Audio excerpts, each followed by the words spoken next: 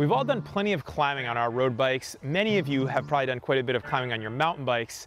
But today I'm gonna go through some tips and tricks to be able to ride uphill on gravel like a boss.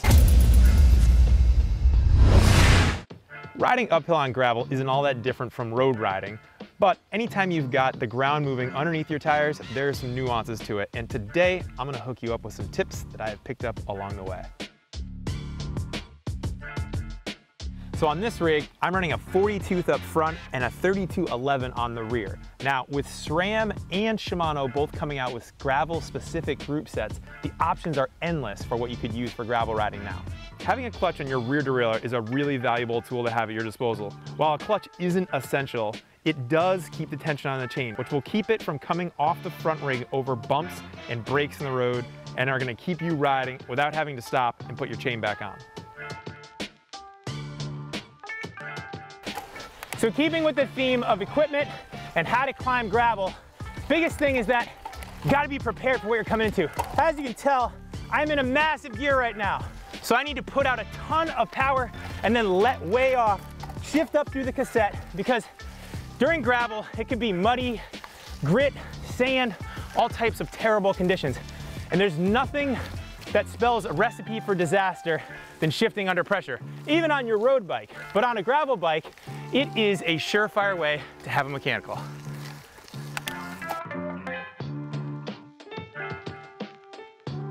So now we're gonna talk about the technique or the finesse of being able to ride gravel uphill.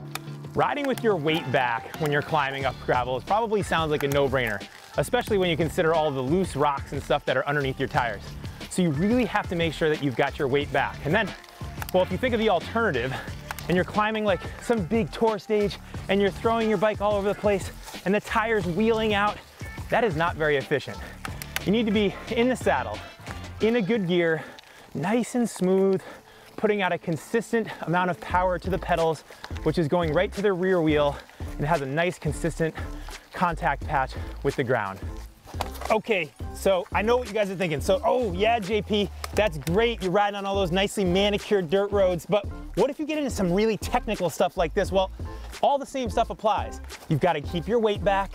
You've got to make sure that you pick your head up and you've got to anticipate because momentum is the key to being able to ride really steep off-road stuff. Picking your head up.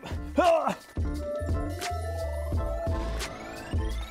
So one thing that you might not think a lot about when you're climbing gravel is overheating. And I can't tell you the amount of times that I've actually burned up when I've been out riding gravel on a super long 20 minute climb because while there's no airflow out here and sometimes the sun is just beating on your back, the combination of those two makes me say like, I gotta get my jersey open, flapping in the breeze.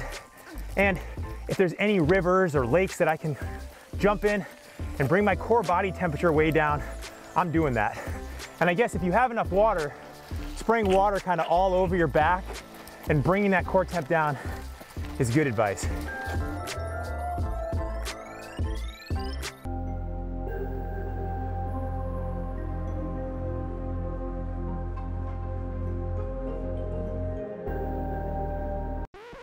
All right, so I'm not being totally serious. Like you don't have to be meditative and zen and doing crazy stuff on the side of the trail, but you should be really positive because sometimes these climbs can be really long, hot, arduous, and these rides are adventures. You're out in the middle of nowhere often for hours, sometimes by yourself. So, you know, I try to kind of channel my inner mentality to be really positive. Think forward, think about something that you're looking forward to, whether that's like a good meal at the end of the ride or hanging out with friends when you're finished. But if you map everything back towards I'm having fun and I'm out here to enjoy myself, is going to make your day riding gravel and climbing gravel a heck of a lot better.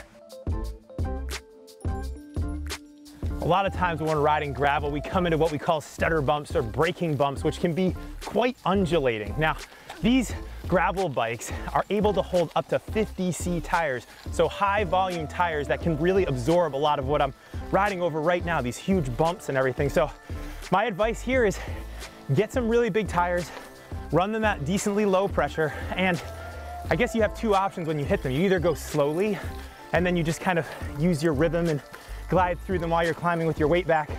If you're gonna hit them full speed, you better be really confident because if you get it wrong, they will definitely throw you. Tying this all together, we need to make sure that we get our weight back. We don't want to be climbing like we're some big Tour de France star out of the saddle in the front of the bike. No, this is gravel. We need to be planted and we need to be firm. You need to make sure that you got your gears right. You want to make sure that you got high volume tires, especially if you're going to be hitting the stutter bumps. We need to stay positive and zen. We can't let our body temperature rise and get too hot and blow up on the climbs because you're going to be out in the middle of nowhere. And I think that's just about everything that I went over to be a gravel rock star. So if you liked this video and you think it was cool, give it a thumbs up. If you want more awesome gravel videos, check out over here. And if you love GCN and you want to subscribe, click right in the center.